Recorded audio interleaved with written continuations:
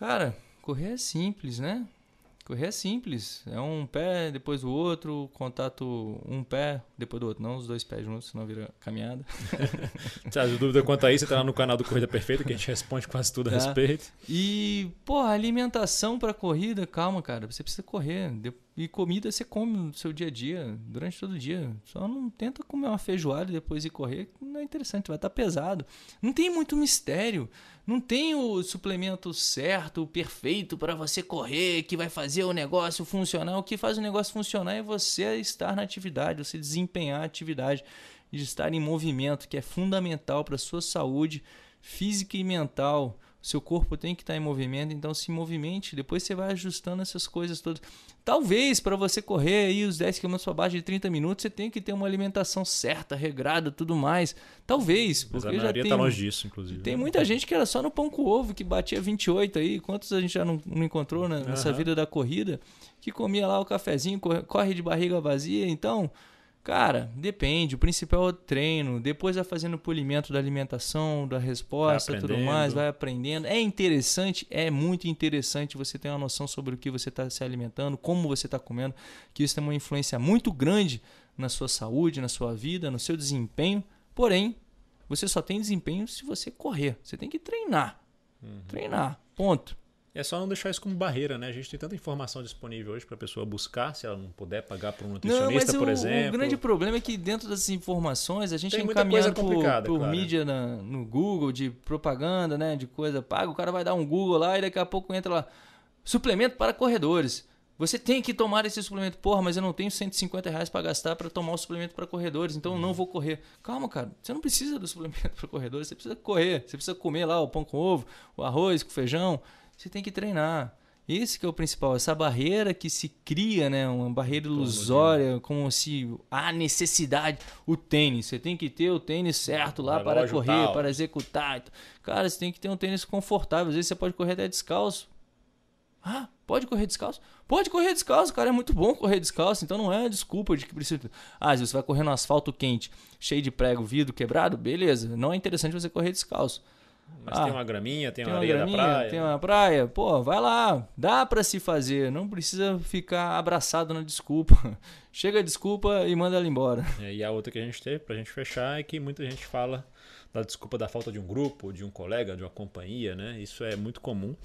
É, eu vou até abrir um parênteses aqui nesse caso, que esses dias até conversando com uma atleta do Corrida Perfeita, ela relatou um, um problema que existe e assim, a gente que é homem acaba não percebendo, por exemplo, ela tem a noite para treinar, né? E muitas vezes ela acaba não, quando não tem companhia, não vai por conta do assédio que ela sofre na região que ela treina, né? E o medo que ela tem de realmente mulher treinando sozinha no horário noturno é, acaba tendo essa dificuldade de se limitando. E é um fato que eu, eu reconheço enquanto homem. É, mas tirando um caso como esse, no caso no, no geral mesmo, que as pessoas falam, ah, não tenho com quem correr, não gosto de correr sozinho, e acabo que não vou, não me motivo. Vamos falar mais desse ponto que é sanável, né? É facilmente contornável, porque a gente vê muita gente se amarrando à necessidade de companhia para treinar. Cara, é, o abraço quentinho, né? De você estar se sentindo seguro, representado, estar junto de uma equipe de amigos, que você vai além do correr, você vai lá para trocar uma ideia, para esparecer, para você bater papo, né? E tem a questão da segurança, que é algo completamente compreensível. E diferente né? do segundo, do primeiro ponto, né? Sim, que o ponto da, da moça que não. É, isso para mulheres é muito mais grave por conta da sociedade onde a gente vive, né?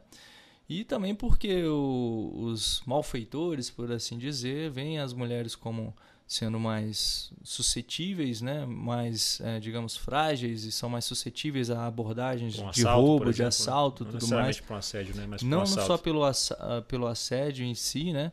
Isso ocorre tanto para mulheres quanto para homens, mas as mulheres ainda são maiores vítimas por serem vistas como sendo mais frágeis, né? E nesse ponto realmente acontece, pô, não vou correr que ali é perigoso, esse horário não dá. E será que não teria um outro horário para você correr? Será que não dá para manusear esse horário de treinamento? porque gera um desconforto tão grande. Vai treinar à noite? Será que é possível treinar de manhã? Será que você não consegue manipular um o seu horário? Ali, né? É, isso tem que ser tudo ajustado de acordo com a realidade da pessoa, que foi até que a gente falou do tempo, do planejamento, de como fazer, porra, não consigo, eu só vou conseguir, eu só consigo correr sozinha. Então, que hora você pode correr sozinho de forma segura, né? Porque tem lugares que não é interessante você correr sozinho mesmo, realmente pode dar ruim. Pode dar ruim, você tem que ter consciência disso. Mas você colocar como, não, só dá para eu correr nesse horário e eu tenho que correr com grupo.